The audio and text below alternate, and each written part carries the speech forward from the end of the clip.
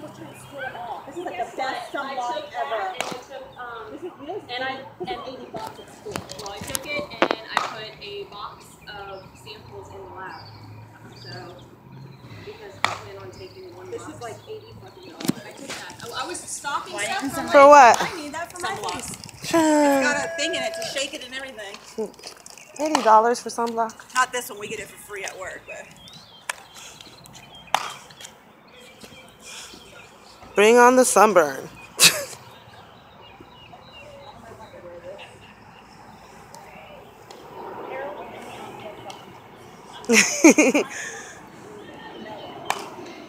Whee!